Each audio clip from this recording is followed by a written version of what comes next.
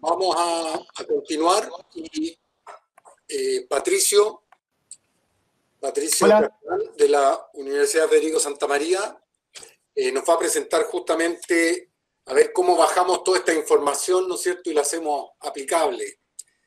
Nos va a hablar de la evacuación de, de tsunami.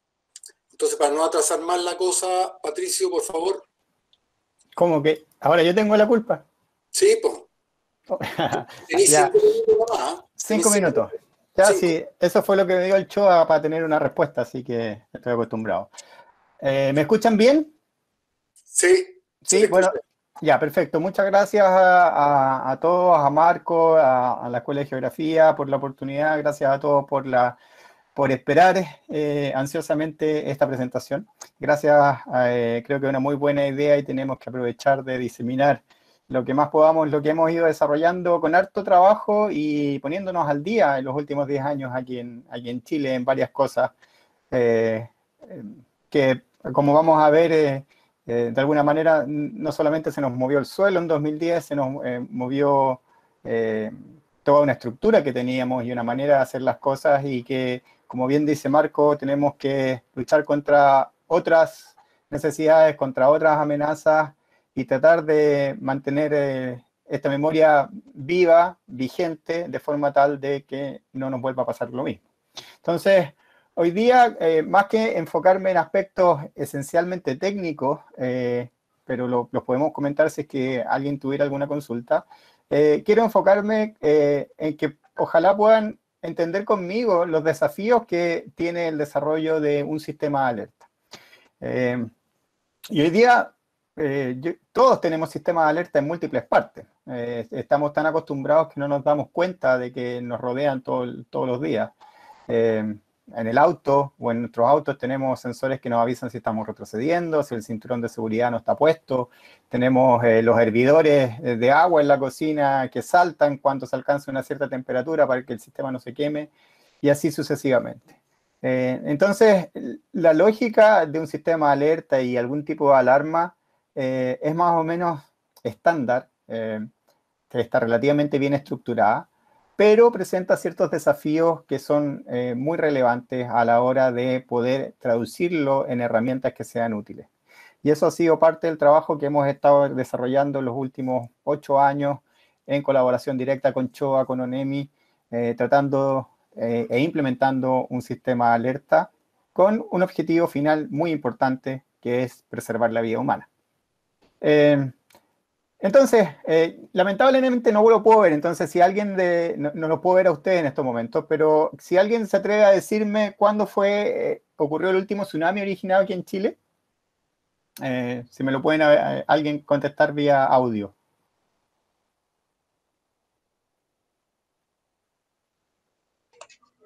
hola, ¿qué tal? 2015, en el tsunami del terremoto de Yabel. Perfecto, ok. Gracias. ¿Y, qué, puedes decirme que cómo, cómo, decidiste qué es lo que fue un tsunami? ¿Funcionar en qué sentido? ¿En el momento de realizar qué cosa la evacuación? No, no, ¿cómo identificaste que ahí había sido el último tsunami? Ah, no, porque trabajo en esta área, entonces, ¿cuánto se llama? Conozco eh, cuándo fue el último evento tsunamigénico que nos afectó a nosotros en Chile, por eso. Ok, perfecto, muchas gracias. Bueno, lamentablemente voy a tener que introducir una, pequeña corrección porque en realidad el último tsunami que tuvimos ocurrió el año pasado, el 29 de septiembre de 2019.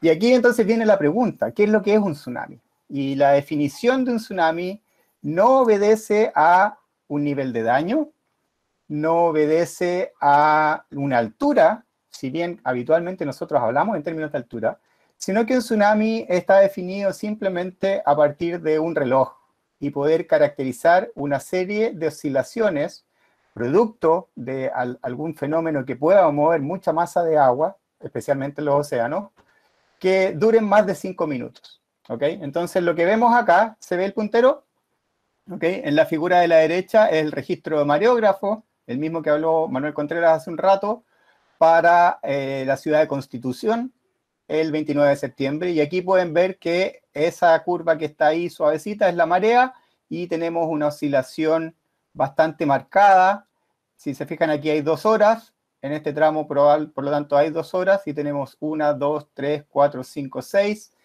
eh, aproximadamente oscilaciones que duraron 20 minutos. Ese fue un tsunami que tuvo 15 centímetros de altura. Es un tsunami muy pequeño, pero fue un tsunami.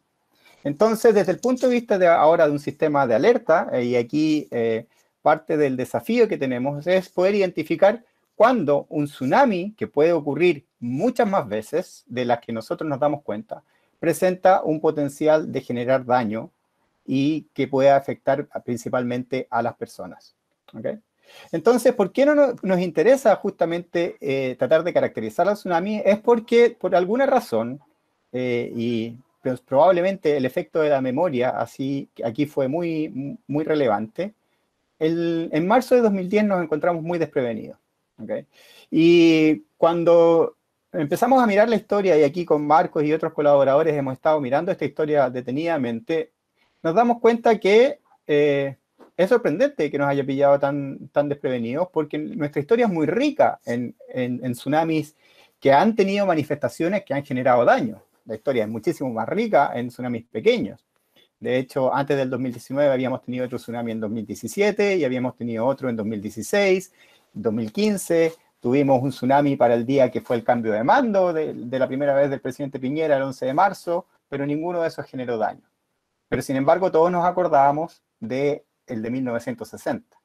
Pero en 1985 el terremoto de Yoyeo también generó un tsunami. Entonces, algo estábamos de alguna manera no considerando.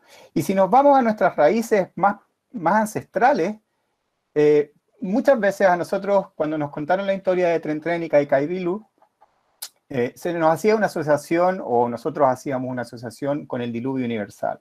Pero en realidad, si uno lee detalladamente la descripción de esa eh, leyenda ancestral, es el encuentro entre y la agitación de la tierra producto de la acción de una de las dos serpientes y Luego, la otra guía al pueblo mapuche hacia las partes altas para escapar de las aguas.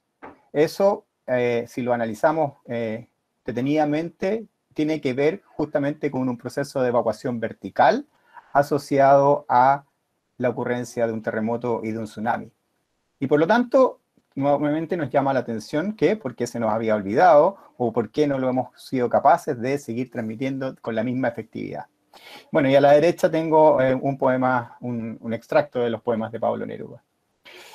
Si revisamos qué es lo que ocurrió, aquí en Chile obviamente 2010 fue una situación muy trágica por el efecto que esto tuvo, eh, por encontrarnos justamente a esta, frente a esta deficiencia eh, en, términos tanto estructurales a nivel del Estado, pero también en algunos casos a nivel local y de preparación de las personas pese a que en general en la zona principalmente afectada por el terremoto, la gente que vivía en la costa sí supo qué hacer. Eh, en general nosotros podríamos considerar que para 2010 hubo una falla de ese sistema. Si revisamos lo que pasó en Japón, Japón tuvo alrededor de 19.500 fallecidos. Aquí en Chile fallecieron 124 producto del tsunami. Eh, 500.000 personas evacuadas y además una falla en elementos eh, eh, de infraestructura sumamente importantes con potencial de daño eh, ambiental, como fue la falla de la planta nuclear, y más de un millón de hogares sin agua potable. Por lo tanto, el tsunami fue efectivamente un evento con un gran potencial y con una gran capacidad destructora. Si vemos, avanzamos en el tiempo, más recientemente, aquí Matías Carvajal también ha tenido unos papers preciosos analizando este evento, en, septiembre de 2018 en Palu, Indonesia, hubo un tsunami que pilló a la comunidad eh, muy, muy eh, sorprendida, especialmente a la comunidad científica, porque eh, inicialmente se consideró que las condiciones que ocurrieron con ese terremoto no eran propicias para generar un tsunami con el nivel de daño que este produjo. Y luego, por Indonesia, tres meses después, el 22 de diciembre, recordarán que además se produjo un nuevo tsunami producto de el colapso de una ladera volcánica eh, por el Anak Krakatau.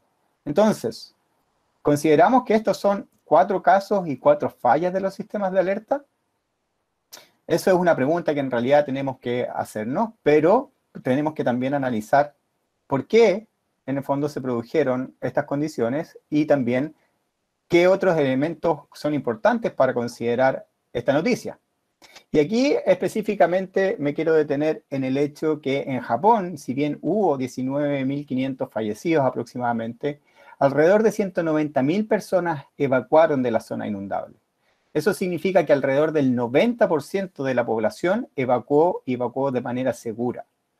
Eso, eh, si bien 19.500 personas es un número altísimo y que esperamos que no se repita, un 90% de efectividad de una evacuación es un logro gigantesco para un país como, eh, organizado como Japón. Si nosotros pudiéramos llegar a esos niveles de coordinación, realmente creo que estaríamos haciendo un buen trabajo.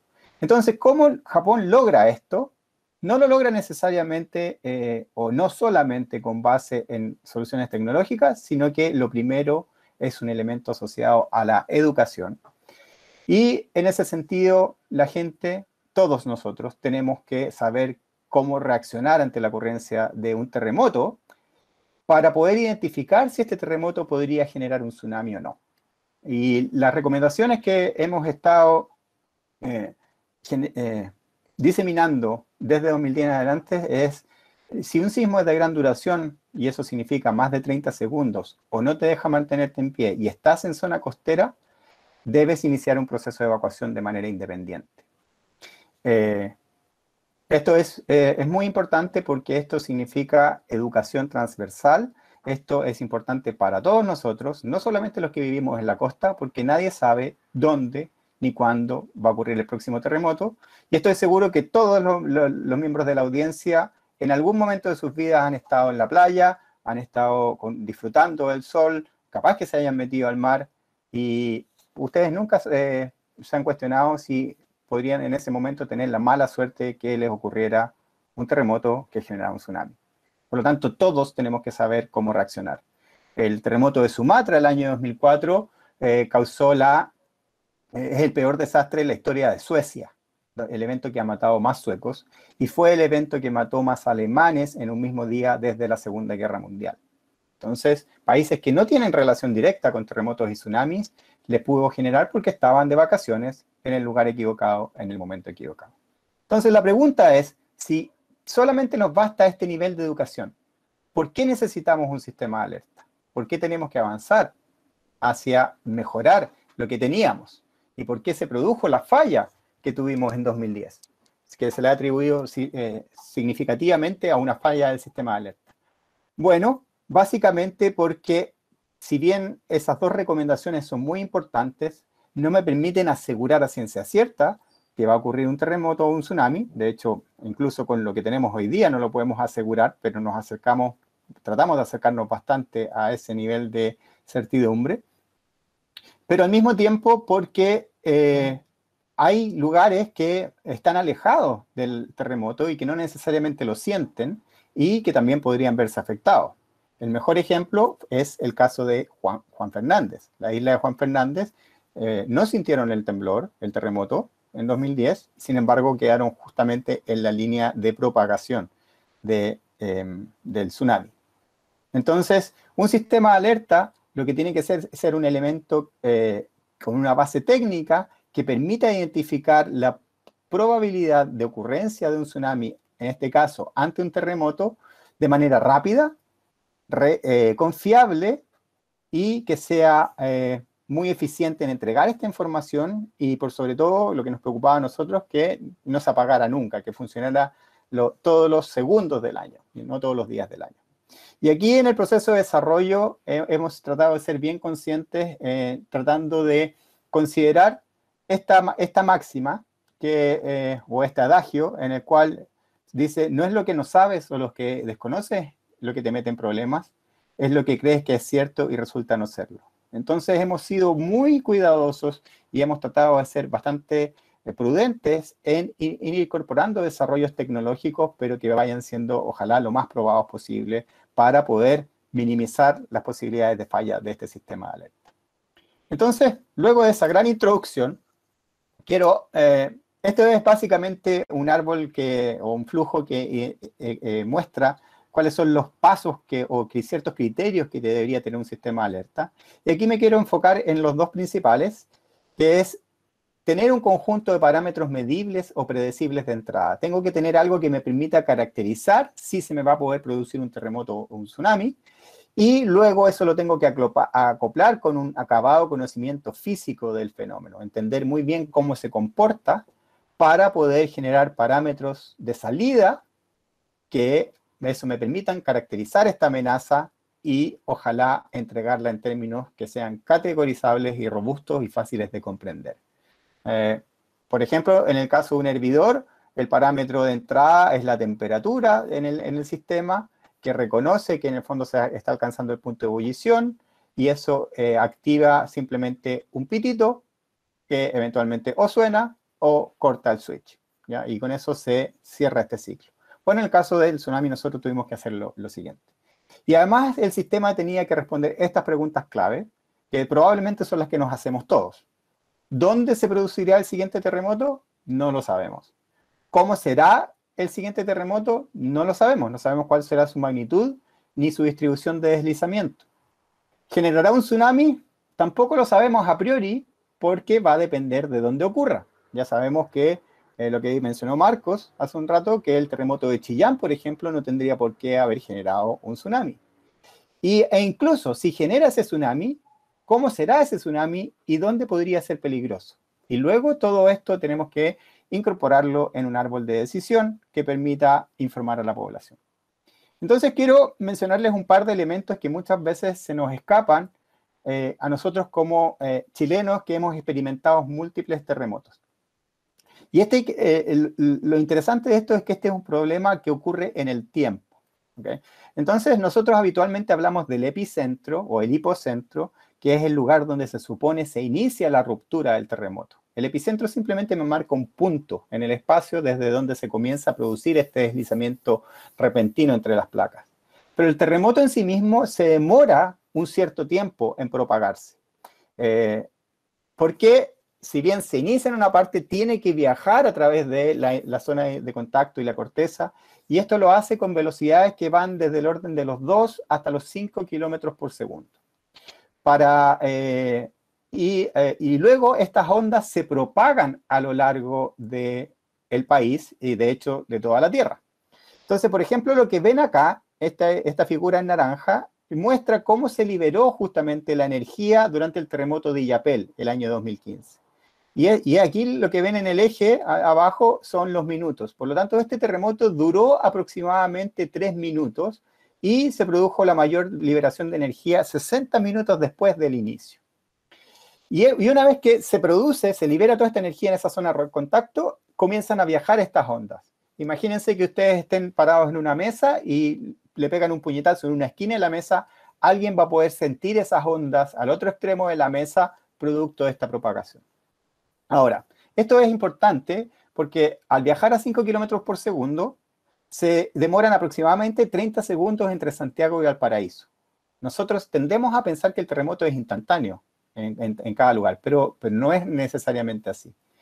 Eh, y esto lo experimenté una vez con un alumno, estábamos hablando por teléfono y, yo sentí un temblor que había seguido cerca de Valparaíso y, y, le comenté, oye, está temblando. Y él me dijo, no.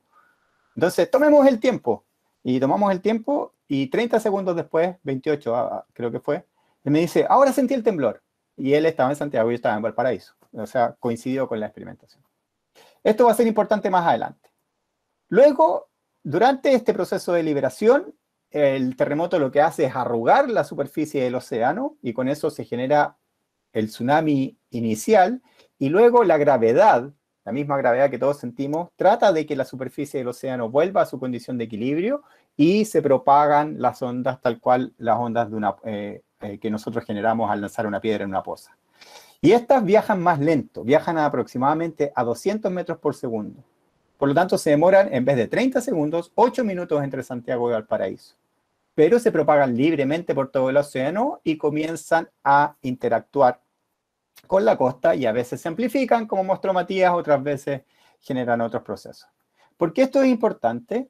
Porque aquí vemos que hay una componente del terremoto y hay una componente del tsunami, y la pregunta es, ¿quién toma la decisión? ¿ok? ¿Quién dice qué? ¿Qué es lo que hay que hacer? Y aquí comienza a aparecer aspectos estructurales y, este es un gráfico que lo que muestra es básicamente el ciclo de la toma de decisiones. Eh, no quiero entrar en el detalle, pero quiero eh, sí recalcar que en otros países esto lo hace una misma institución. Por ejemplo, en, Japón esto está concentrado en una única eh, ente que toma todo el flujo de información y es la que toma las decisiones. En cambio, aquí en Chile aparecen por lo menos tres que la parte sísmica la podría hacer el Centro Sismológico Nacional, que le entrega información al Servicio Hidrográfico y Oceanográfico de la Armada CHOA, que a su vez le tiene que entregar la información a ONEMI y ONEMI es la encargada de la propuesta de evacuación. Entonces, CHOA lo que hace es una evaluación técnica de eh, la caracterización de la amenaza. Hace una evaluación, una alerta, pero quien promueve la evacuación, que es la acción que tienen que tomar las personas, es la ONEMI. Y eso está separado. No es el CHOA que dice que tiene que evacuar, es ONEMI finalmente la que dice. Hasta 2016, esto significaba que eh, la fase eh, inicial entre el terremoto y que alguien obtuviera una falla, eh, una solución para cómo ocurrió ese terremoto, tomaba 3 a 5 minutos y luego venía una evaluación de juicio de experto, ya la voy a explicar, y luego todo el país tenía que acogerse al mismo nivel de evacuación que lo definía la ONEMI. Y luego de eso mm, seguíamos monitoreando solamente. Entonces, en Chile se utilizaba, se medía dónde ocurría el terremoto, el epicentro solamente, no toda la característica del terremoto, eh, cuál era su magnitud, y con eso se ingresaba en un árbol de decisiones, a partir de lo cual había una decisión humana eh, de juicio experto con respecto si eh, correspondía evacuar o no. Y aquí es donde se produjo la confusión inicial con respecto a si que el epicentro estaba en tierra y otros y otros eh, eh, errores que ocurrieron en ese momento. Entonces, para solucionar esto, CIPAT, eh, que es el, sistema de alerta de tsunamis que tenemos, lo que hace es tratar de eliminar esta parte de juicio experto y tratar de hacerlo con base técnica. ¿Y cómo hacemos esto? La filosofía es muy simple, muy simple. Básicamente, dado que no sabemos dónde, ni cuándo, ni cómo va a ser el próximo terremoto, los vamos a calcular todos. Y entonces nos hemos tomado eh, cuatro o cinco años y en este momento tenemos alrededor de 9.000 terremotos simulados a lo largo del país. Y a partir de ellos podemos eh, finalmente eh, saber qué es lo que hace cada uno de esos terremotos a lo largo de toda la costa de Chile en cada uno de los puntos de la costa de Chile. Entonces luego cuando ocurre el terremoto, lo que se hace es tratar de buscar aquellos que se le parezcan más al terremoto real, es decir, entre los que calculé cuál se parece mucho y a partir de eso se hace una evaluación del peligro. Y ahí, aquí existen estos cuatro niveles. Si la altura del tsunami en el agua, en la costa, no en tierra, es de menor a 30 centímetros, simplemente se informa, se informa, eso es un nivel de informativo. Si está entre 30 centímetros y un metro, es un nivel de precaución. Si está eh, entre un metro y tres metros es un nivel de alerta y si supera los tres metros es un nivel de alarma. Estos son los niveles de la amenaza y las acciones que toma la evacuación son en informativo no hace nada, en precaución se evacúan los 80 metros cerca de la ribera del mar y, del, perdón, la costa y los ríos, y en alerta y alarma requiere de evacuación completa. ¿okay? Entonces, para eso nosotros tenemos que identificar rápidamente un sismo y alguien tiene que proveernos de esa información para que nosotros iniciemos este flujo que les estoy presentando aquí. Pero tenemos un problema. El problema es el siguiente, y aquí es algo que eh, hemos estado comenzado a presentar recientemente, puesto que dado que las ondas sísmicas se demoran en viajar, eh, si bien viajan rápido a 5 kilómetros por segundo, las ondas sísmicas tienen que viajar a lo largo de la costa y del país y llegar a los sensores que tiene el Centro Sismológico Nacional, quienes tienen que recopilarlos y luego aplicar un, resultado matemático para poder, eh, un modelo matemático para saber dónde ocurrió el terremoto inicialmente.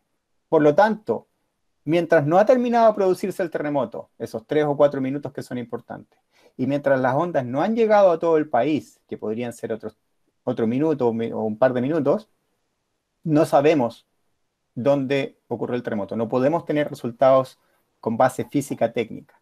Por lo tanto, ese periodo estamos ciegos y sordos, básicamente. Y entonces, como es imposible tenerlos, aparece la noción de evacuación preventiva. Y esta es una evacuación que está no con base técnica, sino que tiene una base simplemente de percepción. Y en este caso, está, eh, si personas entrenadas por ONEMI dentro de una misma región, tres personas en una región, identifican que la intensidad de Mercalli, que es una intensidad de percepción de nivel de daño en la obra, es superior a 7, en ese caso se activa la evacuación preventiva. Y esta, por ejemplo, explica por qué en enero del año pasado se realizó una evacuación preventiva cerca de eh, Coquimbo y La Serena, porque hubo tres personas, que, como mínimo, que reportaron que se sintió lo suficientemente fuerte como para superar una intensidad 7 de Mercalli. Luego de eso, a medida que el tsunami se propaga y el terremoto se propaga, se puede tener la información técnica. Y con esa información técnica nosotros podemos hacer la evaluación. Entonces, ¿por qué esto es importante? Porque no, desde el punto de vista de la percepción de las personas, no es un error que ONEMI primero diga hay que evacuar y luego lo cancele, es una medida de precaución. Y lo otro que es importante, que mientras antes la gente comience a evacuar, más tiempo va a tener para beneficiarse y poder alcanzar la zona segura. Quedarse esperando una evacuación o una orden de evacuación eh, con base técnica, especialmente los que están muy cerca de la zona de ruptura, es un negocio que es muy peligroso. Y eso es algo que tenemos que entender todos, todos, todos, todos. Hoy día el sistema nos ha permitido ahora hacer un cambio que fue muy importante y es el hecho que ahora si ocurre un terremoto en el norte de Chile, probablemente Punta Arenas y Magallanes no, no, no requieran de evacuar. Por lo tanto, ahora podemos hacer esta evaluación separada entre las distintas regiones. Y de hecho, esto ya entró en operación en, diciembre de 2016, en que ocurrió el terremoto en Melinca. Probablemente no se acuerden porque no tuvieron que evacuar, justamente porque el sistema operó y solamente la gente en la región de los lagos tuvo que eh, eh, realizar la evacuación, porque ese fue un terremoto 7.6 que generó un tsunami que superó los 35 centímetros en Castro. Por lo tanto, cumplió por lo menos con el criterio de precaución. Así que el sistema operó. Nosotros en estos momentos estamos trabajando para ampliar estas capacidades y poder utilizar la mayor información que viene para tratar de mejorar nuestra capacidad de predicción, tanto para hacer evaluaciones en tiempo real, es decir, en caliente, y continuar evaluando una vez que ya evacuamos a las personas.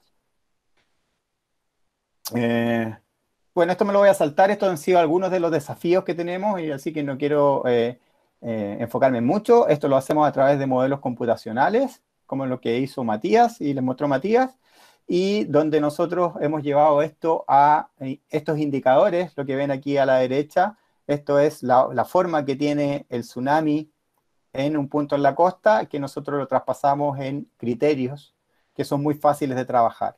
Niveles de eh, informativo, precaución, alerta y alarma. Y por lo tanto el sistema es muy rápido y eficiente. De todas maneras, tenemos que enfocarnos en tener esta necesidad de, evacuación individual, porque nosotros hemos analizado cuáles han sido las respuestas eh, de distintas localidades. Hemos hecho estudios con Jorge León y colaboradores de Sigiden de los tiempos de evacuación, por ejemplo, en Iquique, y pudimos ver que en el caso de los ensayos eh, eh, simulacros, los tiempos de evacuación a veces son muy largos. Eh, hemos utilizado modelos computacionales, por ejemplo, aquí se puede ver la propagación de cómo la gente a través de estos modelos evacúa la ciudad y pueden ver que en algunos casos, dependiendo de las rutas que tomen, podrían verse afectados y algunas personas podrían eventualmente ser consideradas como que van a fallecer.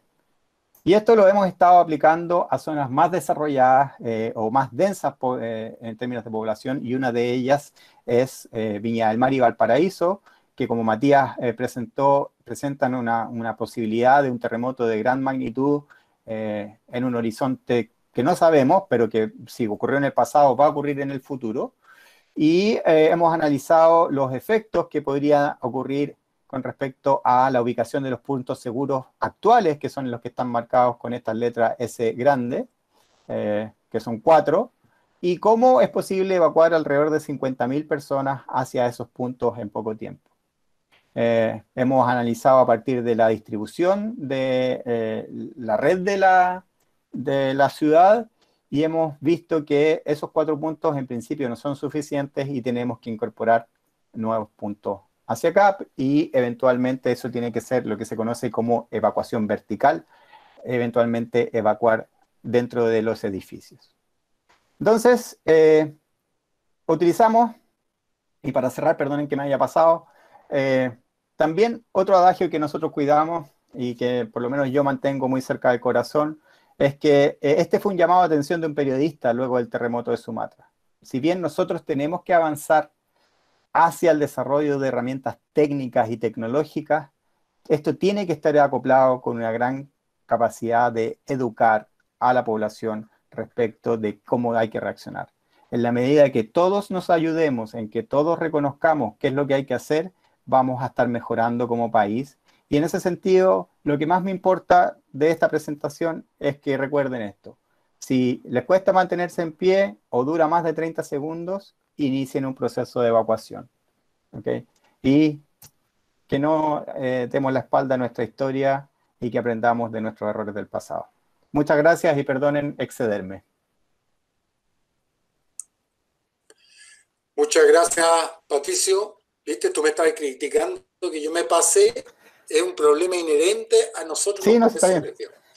Eso siempre pasa, siempre pasa y es porque yo creo que el público así lo entendió. El público entendió que en el fondo lo que a nosotros nos gusta, este tema, nos apasiona y por eso ¿no es cierto? Nos pasa siempre lo mismo. Yo trato que no pase, pero me pasa. Eh, bueno, eh, Diego, ¿cómo estarán las preguntas para, para Patricio? Eh, supongo que hay muchas, porque el tema es realmente álgido, diría yo, interesante. Sí, de a poco aún no, aún no escriben muchas preguntas, la verdad, dirigidas directamente a Patricio. Estoy recopilando algunas para la discusión final pero sí me gustaría em, aprovechar de consultarle a él que acerca de profundizar el tema este de la evacuación, la evacuación vertical. ¿Cuál es la visión que existe respecto a ese, a ese tema? Eh, eh, mm. gracias, gracias Diego. Eh, ese es un, mm. es un, gran tema que en el fondo estamos tratando de comenzar a, a incorporar. Eh, con Sigien y Marco y Matías el año pasado, eh, para hace un año exacto, eh, presentamos un, policy paper con respecto a educación, evacuación vertical, en el cual tenemos que avanzar como país hacia incorporar dentro de los procesos de evacuación el uso de edificios o infraestructura. Hoy día el, el principal problema no es de tipo técnico, sino que eventualmente de tipo legal, en el sentido que eh, especialmente los edificios públicos, eh, privados, digamos, son efectivamente privados y por lo tanto deberían eh, considerar algún mecanismo para poder permitir el ingreso de las personas ante un proceso de evacuación. Recordemos que parte de lo que estamos promoviendo es que la evacuación se haga de manera natural, individualmente, y por lo tanto no siempre va a estar asociada a una evacuación oficial, o podría ser antes de esa evacuación oficial, y por lo tanto el permitir el ingreso de personas que podría conllevar eh, situaciones de seguridad o ingreso a propiedad privada que son complejas. Eso desde, un marco legal. Desde un, marco eh, técnico, los edificios no han sido considerados ni diseñados para esta sobrecarga de personas. Eh, se han pensado para su uso habitacional y no para que ingresen 200 o 300 personas rápidamente en ellos. Y eh, tenemos el otro desafío que eh, nos, nos hemos contra, ¿cuál es la palabra? Contradecido entre nosotros mismos. Eh, me, tocó participar en, con ONEMI en el desarrollo de las recomendaciones por tsunami. Y la recomendación en terremotos es que la gente tiene que dejar evacuar la estructura ante posibilidades de falla mm. estructural de otro tipo. Y sin embargo, con el tsunami nosotros le estamos diciendo que tiene que, por el contrario, más gente ingresar. Y eso es algo que no hemos resuelto técnicamente. Hay otros elementos secundarios que es cómo identificar qué edificios son apropiados, cuáles son las condiciones de habitabilidad o de flujos, escaleras, etcétera, que van a facilitar esto. Pero eh, de momento nuestra recomendación es la siguiente. Si ustedes sienten que no van a poder llegar a un cerro, métanse un edificio eh, y, traten de llegar por lo menos al cuarto piso, eh, porque esa es la, es la solución. Eh, está claro que es, es un mecanismo de solución, implementarlo estructuralmente con regulación nos va a tomar algo de tiempo y si nos pilla un terremoto entre medio, hay que hacer todo lo posible por salvarse. Gracias, Sí, eh, Patricio, se me venía a la mente un video que tiene Matías Carvajal, en que es en Palo, ¿no? En gente que toma la decisión de subir la escalera, así como lo decías tú, meterse a un edificio, y esas personas se salvaban, en cambio otros que salían en la otra dirección, los agarraba el tsunami. Se me vino a, dijiste someterse a un edificio, se me vino inmediatamente la, ese video que, que en alguna vez se lo vi a Matías eh, presentado en una presentación. Sí, Mantella tiene varios videos ahí muy buenos de evacuaciones eh, y en el análisis de palos. Eh, eh, es algo de lo que tenemos que trabajar, pero nuevamente esto es algo que, vuelvo a insistir, esto es para todos, los que vivimos y los que no vivimos en la costa. Viña, por ejemplo, tiene una población flotante muy grande, La Serena también, y, y los visitantes tienen que saber qué hacer, y los locales tenemos que ser capaces de guiarlos también. Entonces, es un desafío importante. Em, quería aprovechar de preguntar, que aquí Fernanda hace una pregunta eh, bien general y que puede resolver bastante, que es explicar brevemente qué, qué es lo que se considera como tsunami, o sea, qué, características debe cumplir una, una ola o una onda en el mar para que se considere como tsunami. Ya, muchas gracias. Eh, yo, desde mi perspectiva, los tsunamis son una ola como cualquier otra. ¿ya? Eh, en el sentido que si tú soplas sobre una taza de té, vas a generar ondas que son muy pequeñas. Y eh, si vas a la playa, vas a encontrar ondas que son muy grandes, más grandes, digamos. Y luego tienen los tsunamis y luego tienen las mareas. la, ¿Cómo las diferenciamos? No es tanto por su altura, sino que por su periodo. Y el periodo es algo bastante sencillo. Si vas a la playa, eh, y cuentas el tiempo que pasa entre que llega una ola y la que sigue, aquí en Chile habitualmente son alrededor de 10 o 12 segundos. Entonces, la próxima vez que visiten la playa, cuenten entre dos olas y van a ver 10 o 12 segundos. Eso significa que entre la cresta de una ola y la que viene después hay alrededor de 150 metros. El tsunami es cualquier ola que su periodo sea más de 5 minutos, típicamente entre 5 minutos y 60 minutos. Ahora, eso significa que media hora, por ejemplo, supongamos que es media hora, eso significa que hay 15 minutos en que el agua viene y luego 15 minutos en que el agua va.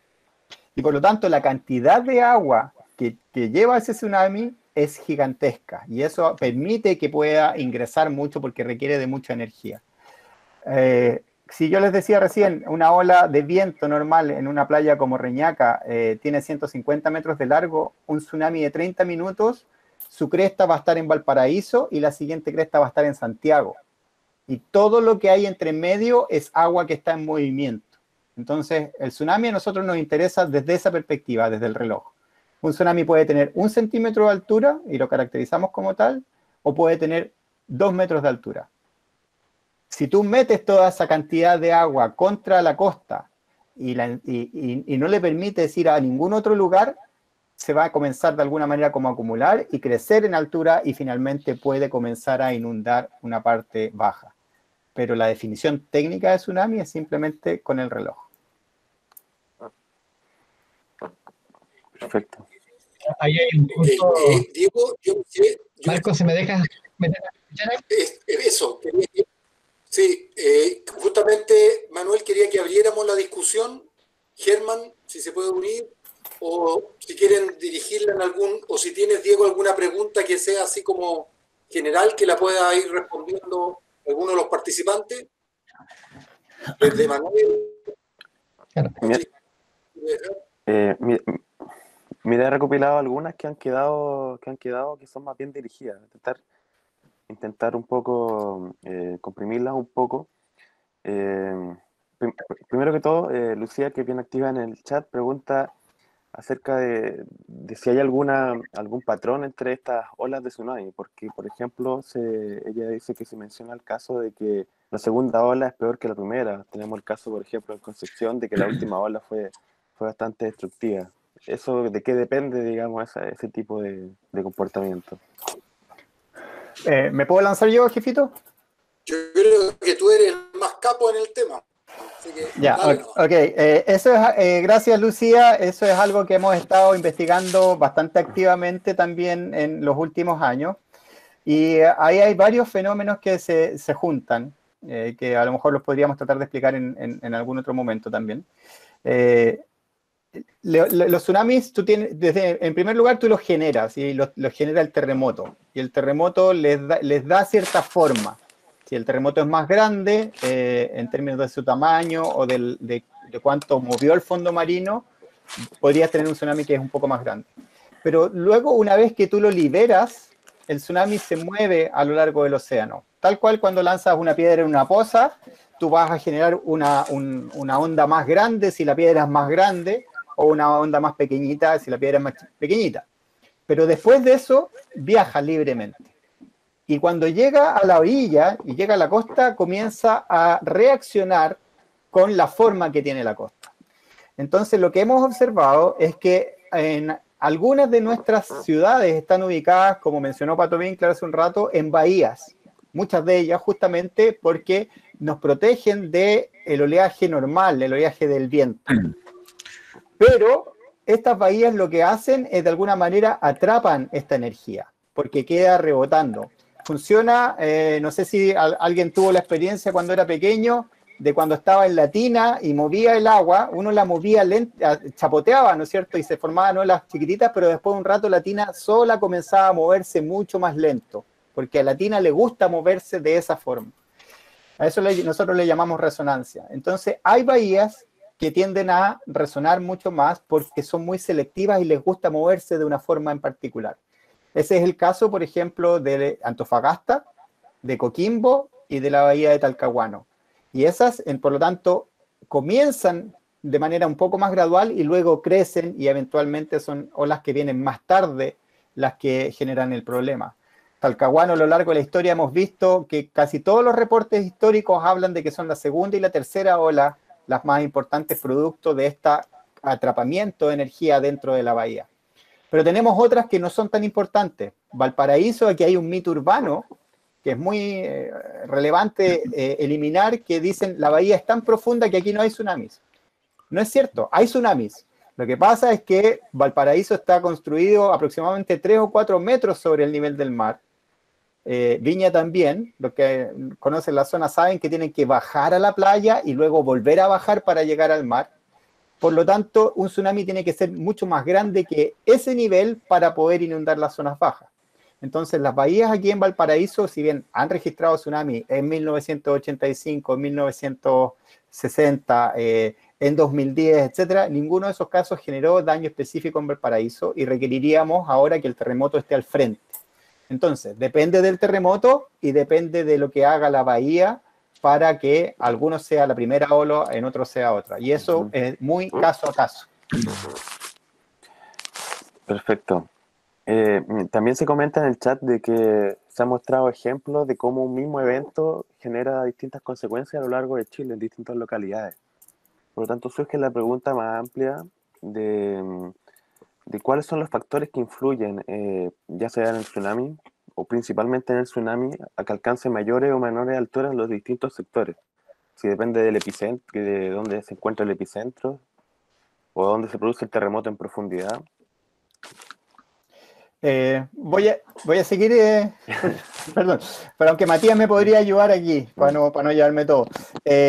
justamente ese es uno de los desafíos que nosotros tratamos de, de solucionar con CIPAT, eh, porque eh, depende mucho de dónde ocurre el terremoto.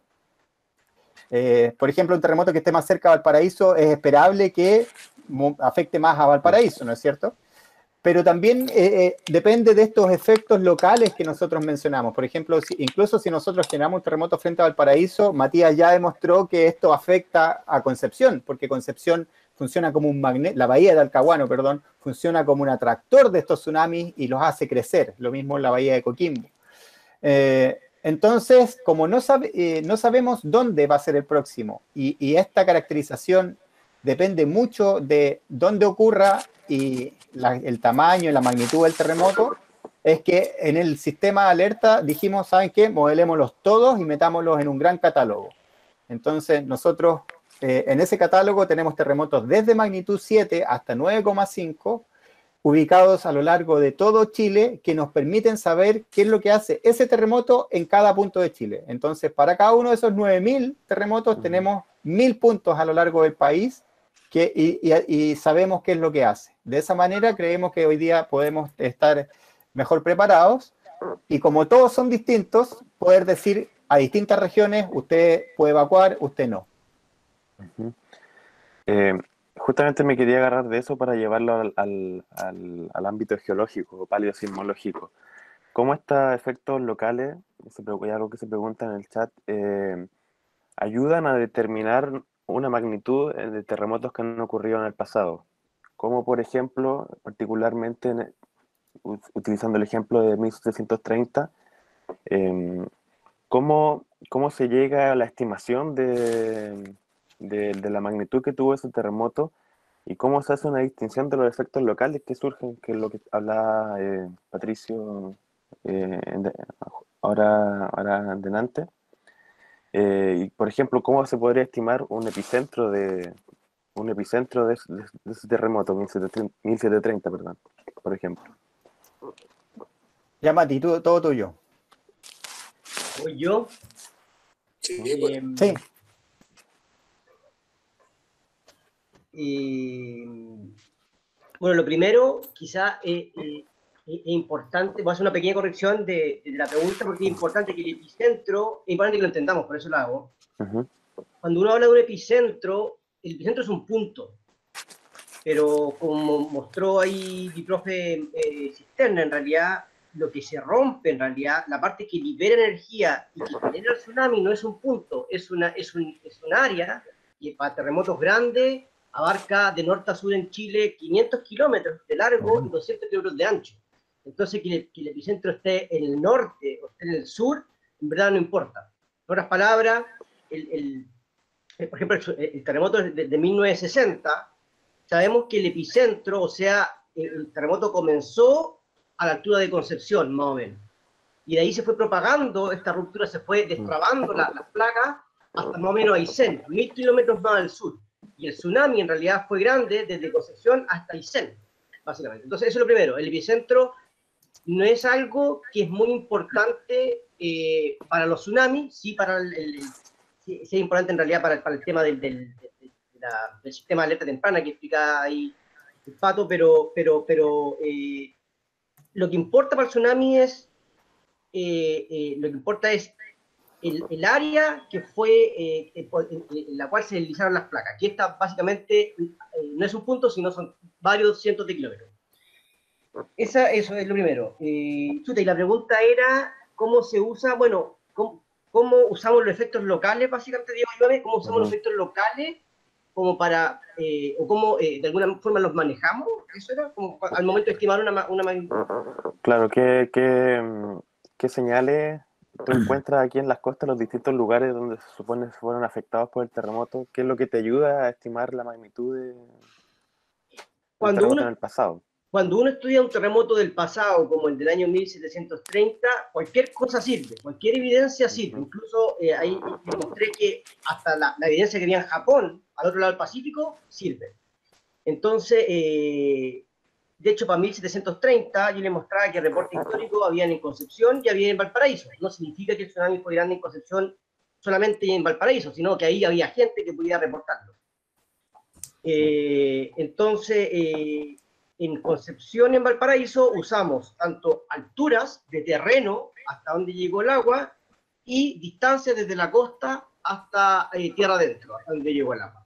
Y cuando uno, eh, eh, cuando, uno hace las modelaciones de tsunami, la, la modelación en realidad considera estos efectos locales.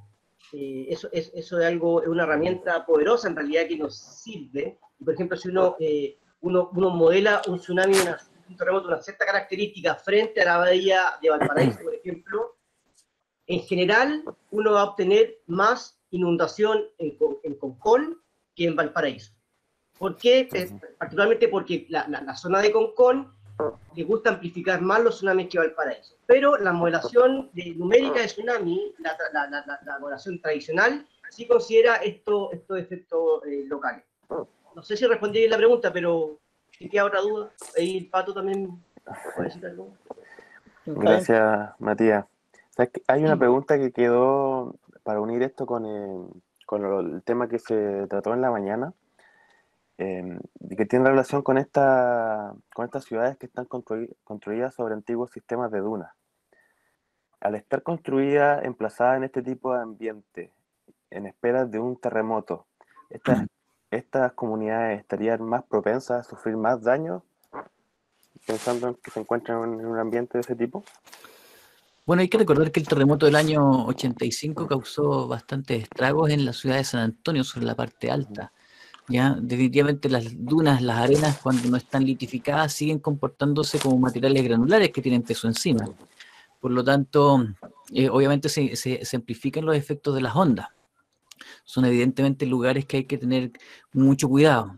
Por eso, ¿no muchas inmobiliarias cuando construyen sobre espacios de dunas tratan de acercarse más a la plataforma a donde ellas se posan para tratar de tener un sustento más, más firme donde poder eh, generar los cimientos de construcción de los edificios.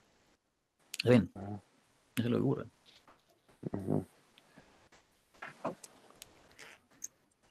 Eh, eh, Germán, en el caso de Concón, ¿no es cierto? A mí me llama tanto la atención esos edificios en Concón.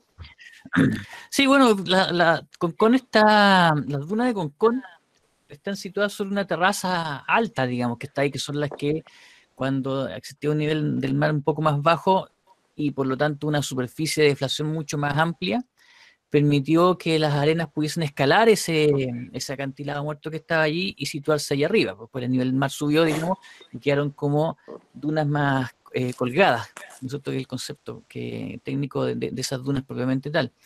Lo que hacen las empresas, digamos, simplemente eh, sacan arena, la van sacando, digamos, y tratan de llegar a la plataforma y ahí sustentan ah, su cimiento, digamos, ¿no es cierto?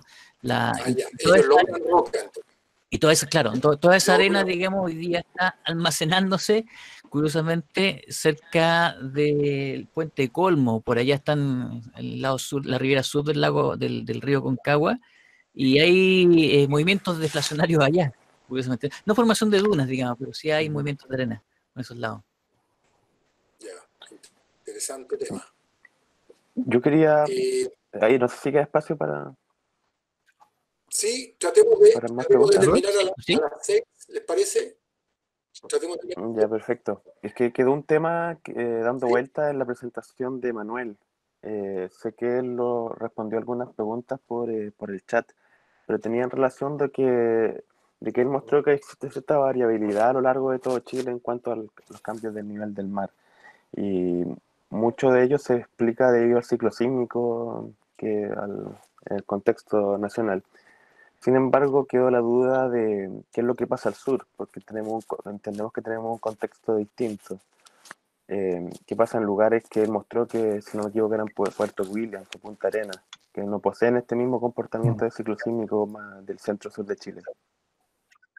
Claro, esa, es una buena, buena pregunta.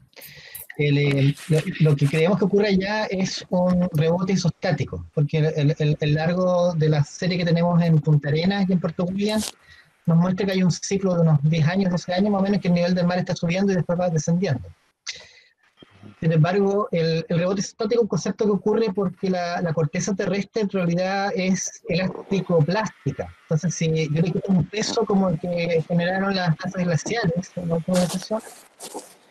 eh, la corteza queda, queda oscilando después. Eso se ha comentado muy bien en, eh, el hemisferio norte, pero eh, para poder probar que eso está ocurriendo acá, nosotros necesitamos tres puntos. Nos falta un registro, por ejemplo, de Argentina de más de, varios años, ¿no es cierto?, 50, 60 años, para poder eh, verificarlo. Entonces, hoy en día está solamente a nivel de conjetura. Eso, es lo que ocurre en, el sur. Yo quería completar una, un, un, detalle de la definición que dio Patricio sobre tsunami.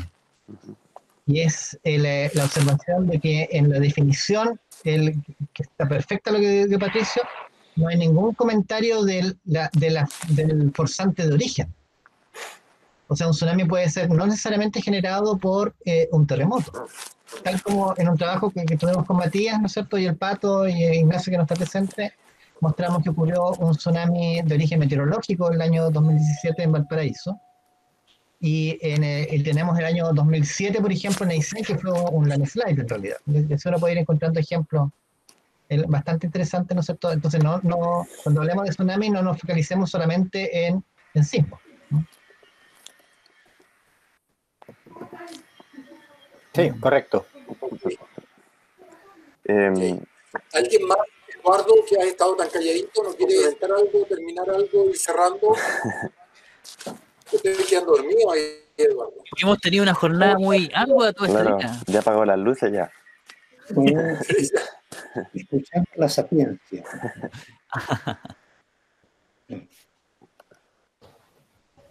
No, sí, eh, yo creo que ya, yo creo que ya es tiempo de ir eh, cerrando. También ha habido alta comunicación a través del chat. ¿ah? Así que eso no, no, nos gusta. Yo para, para ir terminando ya, si que estás de acuerdo, Germán, a menos que tengas tú algún... No, no, por cierto, sí, es, corresponde, digamos, dentro de lo que teníamos programado. Sí, porque fíjate que nos estaríamos demorando tres horas y no es lo que nos demoramos en la mañana. Con la diferencia que fuimos cinco expositores, en la mañana ustedes fueron cuatro nomás. Aprovechamos mejor. la, competencia, la competencia. Oye, miren, yo quiero, me gustaría terminar esta, esta, reunión. Ojalá la podamos repetir, como les decía, eh, Geografía va a seguir haciendo este tipo de actividades. Eh, hay, toda una serie que se viene de temas. Nos quedamos con las ganas del Congreso Nacional e Internacional de Geografía, no lo vamos a poder desarrollar, como contaba Germán en la mañana, eh, nosotros nos correspondía como Universidad Católica del Paraíso estar a cargo de ese congreso y lamentablemente por las condiciones no lo pudimos hacer. Pero lo bueno es que lo vamos a hacer el próximo año. Pero para no quedarnos con las ganas, entonces estamos haciendo estas actividades. Eh, a mí me gustaría, junto con agradecer a la, a la Sociedad de Geografía, de Ciencia Geográfica de, de Chile, el patrocinio, también me gustaría ah, expresar mi agradecimiento a los expositores, se las mandaron todos, todos gente muy comprometida. Eh, Arabi de Brasil, ¿no es cierto? A Eduardo Caramillo, a Carolina, a Patricio Winkler, a Patricio Catalán, que tuvo una destacada participación en esta última parte, hubo mucho interés en su tema. A Manuel Contreras, muy interesante su, su presentación acerca del cambio, de los cambios a nivel del mar, a Matías Carvajal. Y finalmente me gustaría darle las gracias al, al equipo joven que nos apoyó en todo esto.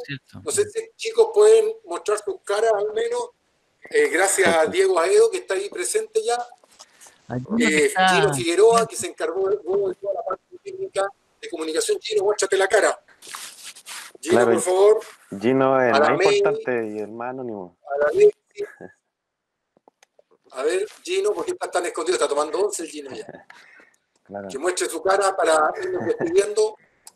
No, realmente, muchachos, eh, Alexis también y May, por favor, aparezcan. Muchas gracias, le pusieron mucho y nos ayudaron un montón. Germán a, a, ejecutar esto, a llevarlo a cabo. El conocimiento, la parte técnica, usualmente está lejos de, de las canas, son los, los, más jóvenes los que se manejan. De las canas y de la barba, parece. Y no se, y no se quiso aparecer, ¿eh? no quiso aparecer ni el Alexi, ni. Mira, bueno. Ya pues. Entonces. No, si está, ahí está el Alexi. Alexi. Gracias, Alexis. Ya, muchachos. Muchas gracias, Eduardo, Marías, Patricio, Patricio Víctor, que se tuvo que ir. Ya, eh, bueno, a todos. Bueno, muchas gracias por la oportunidad y por considerarnos. Gracias a ti, Pato, siempre presente. siempre presente. Padre Eduardo, muchas gracias, apoyan muchas Sí, cosas. muchas gracias por todo. Sí. Ya pues, si no hay nada más que decir, me despido. Fue, fue un placer que nos acompañaran Gracias. gracias, gracias. Que tengan buen día. Gracias. Gracias. Un abrazo Gracias a todos.